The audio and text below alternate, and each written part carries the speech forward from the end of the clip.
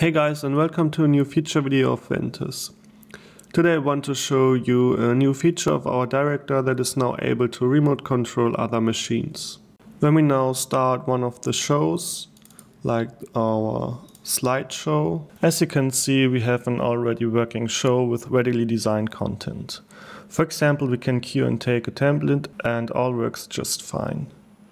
Let us now build a topology with a cluster that the director can remote control. To do so, firstly we need to close the show and look at the topology editor. So we will now create a new topology. To do so, we can open up the topology editor, which is in on the start screen of the Ventuz director. Uh, you can open it up by pressing this button down here and you can see the editor over here. What you see now is the default local topology, which is used for all versions up to Ventuz 4.3 and which will now be editable through the topology editor. The topology may consist of three types of elements.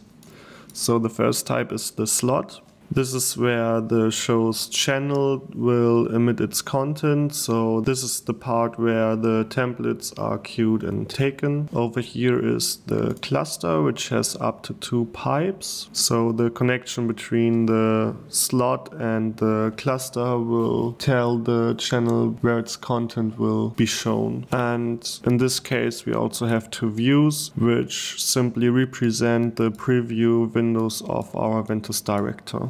So now to accomplish that the director will render also on the cluster machines, we will have to create a new topology, which we can do by pressing on the button down here. Give the new topology a name, for example, wall. And then you can optionally change the type of the topology. So one so one way to create the cluster topology is to change the type to cluster and there you can see that you already have a almost working cluster topology. So what we will do now is build this topology uh, by scratch so that we can see how it's done. Now I have created a completely empty new topology which we will now fill with the elements that we need for our cluster. So the first thing that we will need is a channel slot since the director must know where to queue and take the templates of the current channel. So we can add one down here with the three buttons. The most left one is a new channel slot. can give it a new name. Channel one, for example, give them an ID and click on OK. So for the remoting, we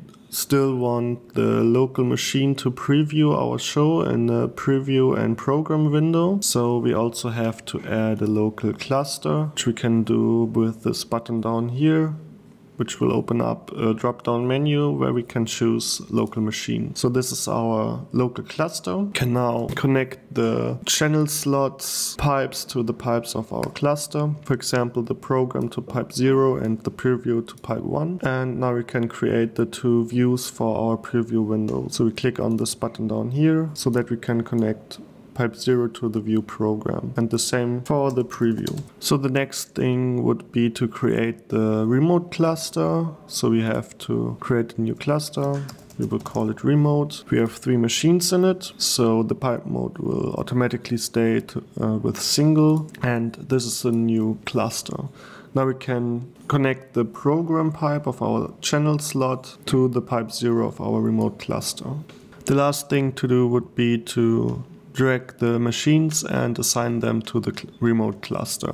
So we have three machines in our available machines column which we can simply drag and drop onto the cluster. So this would be the way to create a new remote cluster that we can control via a local machine. The problem here is now that the remote cluster still has some errors that we must fix. Fortunately, there are easy ways to fix those errors. So the first error was that the group ID is inconsistent. So we have to right click on our cluster, click on configuration, and there we can change the group ID, for example to 1. The second error was that two machines have the same machine ID, so this is the first and the third machine.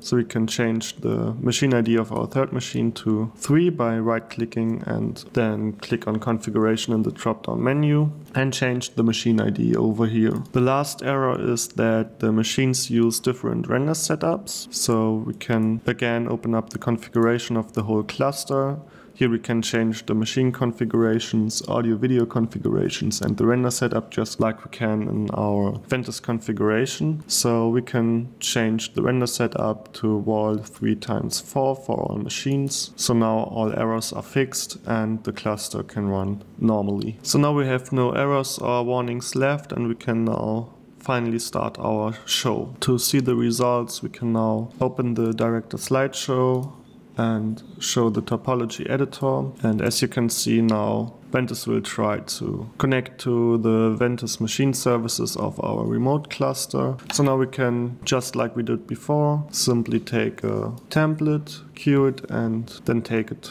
on screen. So as you can see, it is as easy as it can get to create a new topology, to run a show on a completely different topology without making changes to the content. So this is it about the new topology editor and the remote clustering of the Ventuz Director. I hope you enjoyed it a lot and it will help you with your projects. And I will see you in our next videos. So see you then, bye.